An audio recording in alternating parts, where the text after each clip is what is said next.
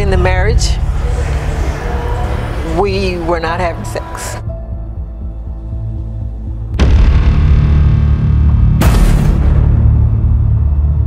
That second was when I concluded there's another woman somewhere. And I'm gonna leave her satisfied if she's not going around saying, spread anything negative about me in the street.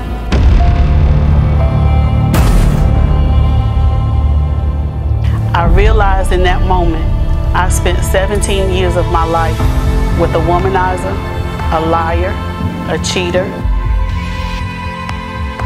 Call me a psychopath. I'm questioning. I'm like, dang, am I really like this? Am I, am I a psychopath?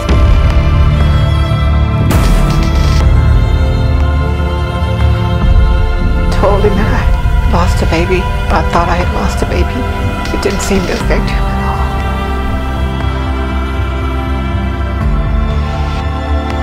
Because I was uh, allowing or entertaining other women when I shouldn't have been. Or when I'm supposed to be in like a committed relationship. But I was entertaining other women